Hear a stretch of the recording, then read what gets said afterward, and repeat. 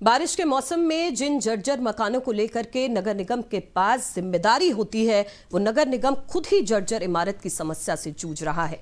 ऐसा ही एक नज़ारा सिविल लाइंस में नगर निगम के जोन एक के कार्यालय में देखने को मिला, जहाँ पर जोन एक कार्यालय की छत पर लगे प्लास्टर का हिस्सा गिर गया।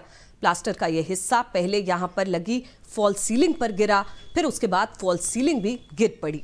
जिससे यहाँ पर काम कर रहे कर्मचारियों में हड़कम मच गया। यहाँ पर काम कर रहे कर्मचारियों ने इसका वीडियो भी बना लिया। उनका कहना था कि जिस तरह से यह हादसा हुआ, ऐसे में उन्हें हेलमेट पहन करके यहाँ पर काम करना होगा। आपको बता दें कि यह इमारत काफ़ी जर्जर हो चुकी है। इमारत में जगह जगह पेड़ तक निकल आए हैं।